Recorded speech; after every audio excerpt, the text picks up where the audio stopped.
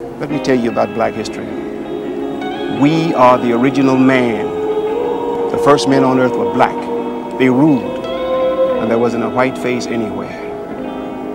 But they teach us that we lived in caves and swung from trees. That's a lie. Black men never did that. We were a race of kings when the white man crawled around on all fours over the hills of Europe. Do they know who they are?